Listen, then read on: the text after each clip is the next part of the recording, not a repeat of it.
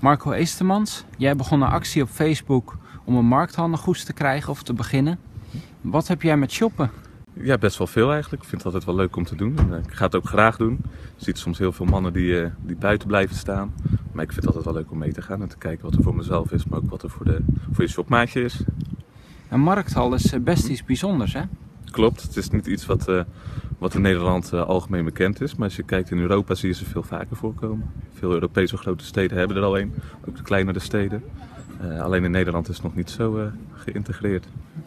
Wat is nou beter aan een markthal dan een gewone winkel? Ehm, in de markthal kan je veel kleine ondernemers samenvoegen. Voor hen scheelt het misschien dat ze dan wat minder huur kunnen betalen dan in een groot, groot winkelgebouw of in een grote winkel. Ehm, en de sfeer is vaak ook gewoon fijner. Het is eh, wat dichter op elkaar, de mensen zijn er bij elkaar. Ehm, het is vaak heel gezellig. En je kan er ook voor kiezen om er ook meer sfeer te creëren door bijvoorbeeld iets van een podium erin te zetten. En welke markthallen heb jij dan al gezien? Eh, in Nederland die in Rotterdam. Die is natuurlijk heel eh, groot en nieuw en heel modern. Maar in het buitenland, bijvoorbeeld in Valencia en in Rome, zijn ze wat ouder. En, maar wel heel leuk en ook van de goede, ja, goede kwaliteit. En je ziet echt die vers producten daar liggen. En dan krijg je wel zin om, om dat te proberen en dat te proeven. En dat kan gelukkig daar ook allemaal.